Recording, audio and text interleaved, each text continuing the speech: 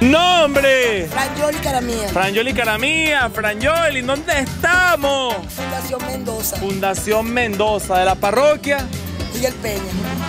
Municipio Amiga, Valencia. Municipio Valencia. Mira, y aquí esta calle ya se terminó de romper. Aquí se quebró, aquí se quebró, aquí se quebró lo largo. Se quebró, se fundió la filtración que se fue generando. Esos son aguas negras, allí aguas negras.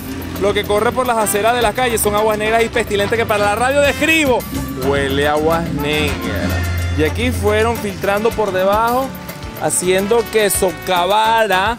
Fíjense cómo sale con energía el agua ahí, bien el champú. Ahí está el champú. Ahí está saliendo el champú. Está corriendo el agua. El agua está corriendo.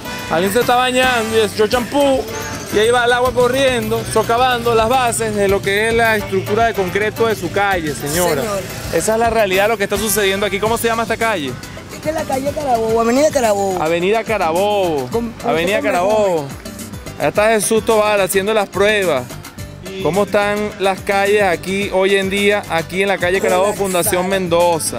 Se quebró esta calle, hay que mandarla a reparar, pero socavada por completo. Y aquí vemos la altura.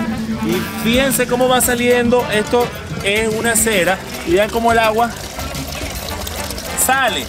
Esto hiede. Huele aguas negras. Pestilente.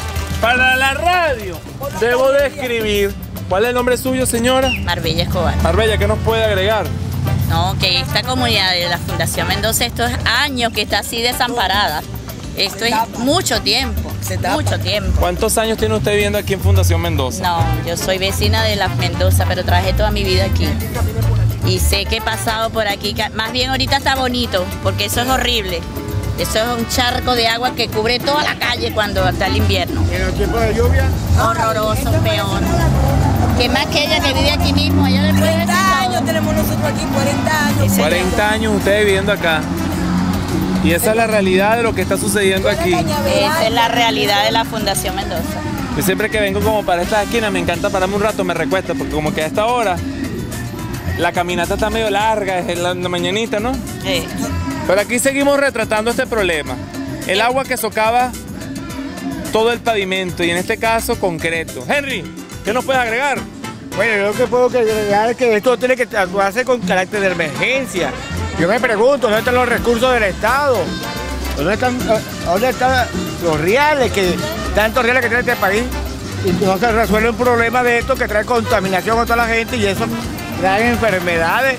Y esto, y esto casi en, todo- en toda la parroquia Miguel Peña. Un colapso del sistema de red de aguas negras, Todo el está colapsado por completo. Ahí van los carros cruzándose, abriéndose hay que camino por las aceras. recursos para poderlo resolver.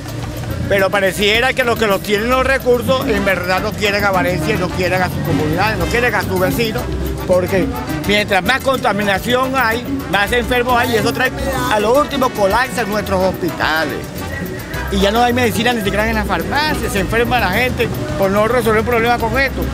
Que lo que hay que tener amor y querer nuestra patria, como se dice, para resolverlo, para que nuestra gente, nuestro pueblo en verdad no sufra de diferentes enfermedades por no gastar y invertir un dinero que es bastante útil para la salud, para el bienestar de todos. Y, y aquí puede pasar cualquier accidente, Carlos. Cualquier carro, cualquier vecino viene sin darse cuenta. Oye, esto es. Un accidente, muerto, rápido, ¿y quién lo paga? Que los ladrones lleguen y maten y roben y hagan. ¿Qué es lo que te pasó a ti recientemente? Me tirotearon a mi hija. Mi esposo fue a evitar un robo y los hombres llegaron disparándonos. Eso fue el día de la madre. Nos llegaron disparando 13 tiros, nos dieron aquí. Estaba mi vecino, a mi hijo de broma no le dieron. Al vecino le dieron dos y a mi hija le rozó uno y le dio una en, en la pierna. Henry, entonces. Bueno, hay que ponerle mano dura en contra de la inseguridad. Esa es la Hay que darle realidad. duro a eso porque esto se presta para que el tráfico se, se tranque o cualquier transeúnte. Que se pasar la patrulla. Inseguridad generada por la obstaculización generada. de las vías, producto de la fractura. Henry, Henry. Carro que se para y carro que es atracado. Y porque en la unión, Está la fuerza. Cuenta con un amigo. inspírate.